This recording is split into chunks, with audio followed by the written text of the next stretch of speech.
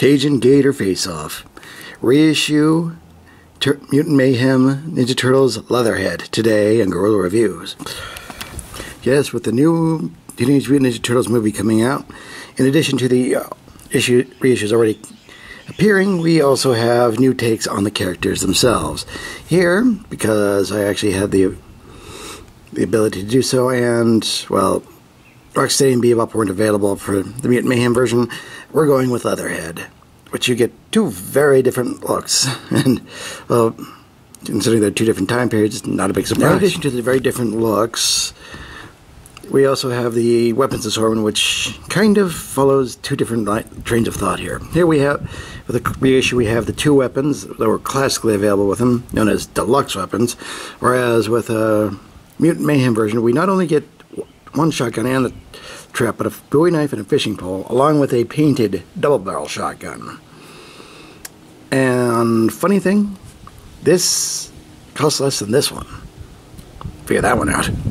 Now, looking at the back of the packages, we do see what uh, 30 plus years difference makes in promoting different toys, even though it is a similar concept. We well, we get to see the actual toys with this one, whereas we get very different, perhaps more screen accurate versions of with this backing. Although the toys themselves, especially Superfly, is uh, is quite a bit different, and the bios are also tremendously different. Here you see all the vital statistics along with his regular bio, whereas with Leatherhead in the Mutant Mayhem version, you just get a much more simplified and menace meter version.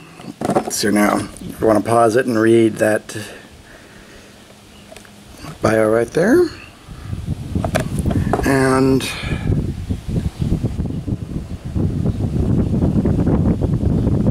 there we go. Hooray. Free reading in a toy review. Another thing right off the bat that you will notice is that you're seeing some very different styles. What I'm guessing is that, uh, as opposed to the original Leatherhead, which was an alligator that got mutated into this, this was a, uh, guessing, Cajun fisherman bio boy just kind of out late at night and then ran into some mutagen ooze and turned reptilian. Similar vibes, but very different results. Anyway, let's get these opened up and see what we're working with. Minton card collectors, look away now. There's the trap right there. So now seems okay. So it just goes the one direction. Okay. anyway, get this done. Again, very nice that they doing the bio ties instead of the regular twist ties. This would be a nightmare. As anybody who received these figures at any point in time would be willing to tell you. There we go. Oh dear. Okay, just kind of snap that back on there. There we are. All right. So, This is Balisha. That's head articulation there. Not much, but it is there. Okay.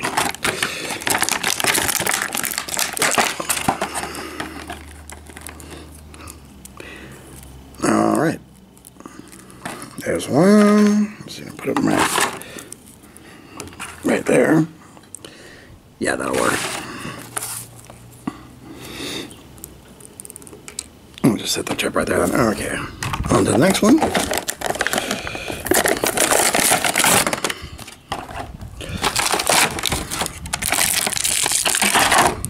Okay, so this is a very soft plastic for the double barrel here. There we go. Hmm.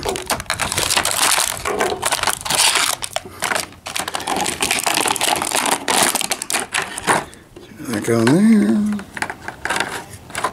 Yeah, but probably for something else. Mm.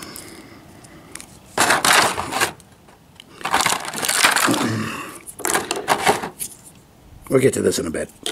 But there we go. Leatherhead and Leatherhead. I don't think that we have this all, all sorted out. Let's see here now. I know that the rest of the weapons should be able to fit fairly effectively in the 2023 Mutant Mayhem version of Leatherhead, but this fishing rod, which is remarkably difficult to get out of the package. Okay.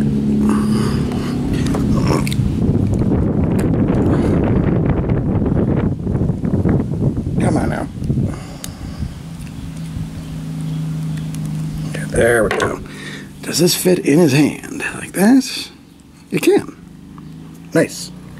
So you can hold the fishing pole. Not a determining, determining point of quality I had normally would have thought of, but there we go. He can hold his fishing pole. If that excites you. Moving on articulation. For a leather hit original, it's pretty simple. The head does rotate. The jaw moves up and down. Rotation on the arms. Nothing else there. No waist rotation. Oh, the hips are on a ball joint, so you can at least get decent movement and a uh, swivel tail. For Mutant Mayhem version, the head. Oh, it's on a ball joint. Cool. Okay. Universal joint for the shoulders and the and for the elbow joint. We also have, I believe, wrist rotation. There we go, and up and yeah. So we got that. We actually have a waist swivel here. Uh, universal joint for the hips, swivel joint for the knee, and ankle rotation there, and a universal joint for the tail. so, already uh, the main version's coming out on top. As for final thoughts, if you grew up with other head, this version anyway, and uh, yeah, he brings back fond memories then this, and you wanted a new one, it's certainly out there. It's exactly how I remember, for better or worse. Not a bad figure, but certainly there have been other others that have probably sparked people's imaginations a little more. But for my money, I'd honestly go with the Mutant Mayhem version. The articulation, the weapons count, the design, and the fact that it's actually a little bit cheaper than this version, kind of definitely puts it in ahead for me. Now, if it, this isn't for you, I do understand that. After all, there is that whole "that's not my Ninja Turtles" out there. Probably been going on for quite some time. But if you're looking for something new, at least a new version of Leatherhead, he's out there, and I would recommend it. Anyway, I'm the Deceptiwolf. This has been, these have been rather, original no reissue and Mutant Mayhem Leatherhead. And get mind you all, free your mind, free your toys.